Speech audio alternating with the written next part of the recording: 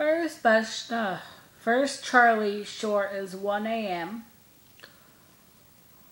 Uh, pretty funny. Um, I have to be honest about this. Uh, I like Charlie Chaplin. I think he was brilliant and a wonderful whatever. But when it came to the slapstick stuff, I don't. I feel like Buster was like perfect for that. Um, Charlie, I don't know, just didn't feel right or natural coming from him. Um, there's a few stuff, there's a lot of stuff that he does that's really funny, but Buster, for some reason, when he did it, it was a lot funnier to me.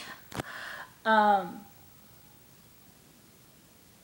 I because Buster's this little guy, this little man. He was five five. He was very short and very little, and when um, he got pushed around or he fell down, it was a little more funny to me, and.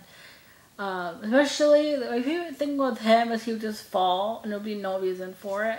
Um, um, Charlie Chaplin fell and it was funny, but again, I think Buster was the king of that. He was like the king of the the uh, falls, and um, Charlie, I think, was better with the physical, with the fighting scenes where he was like pick a fight with people. Those are the ones. I think he was funny with those kind of things. Um, and he was that's what I liked about him. Was like he would have a fight or where he would um, run away from someone and they would never find him. Um, and like when the one in the uh, one short that I did before the rink, where he's a waiter and he goes in and out of the doors, kind of running from his boss in the kitchen, and he never his boss never finds him. I just I just think that kind of stuff was really brilliant, and I love that. But um, yeah, 1 a.m. Um, Charlie returns home drunk, and he has visions with Albert Um, I laughed, but I don't know. I just didn't.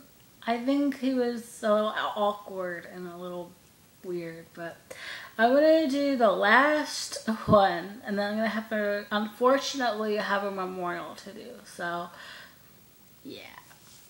Hmm.